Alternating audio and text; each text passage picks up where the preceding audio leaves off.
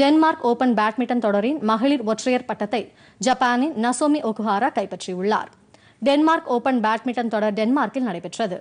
மகளிர் ஒற்றையர் இறுதிப் போட்டியில் ஜப்பானின் நசோமி ஒகுகாராவை ஸ்பெயினின் கரோலினா மரினும் பலப்பரீட்சை நடத்தினர். ஐம்பத்தி ஆறு நிமிடங்கள் நடைபெற்ற இந்த போட்டியில் நசோமி ஒகுகாரா இருபத்தொன்று பத்தொன்பது இருபத்தொன்று பதினேழு என்ற புள்ளிகள் கணக்கில் வெற்றி பெற்று ஒற்றையர் பட்டத்தை கைப்பற்றினார்.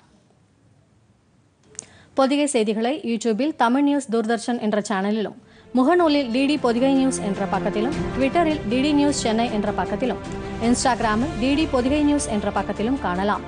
மேலும் உங்கள் கருத்துக்களை Podhigai DD news at Gmail dot com என்ற மின் அஞ்சலிலும் தெரிவிக்கலாம்.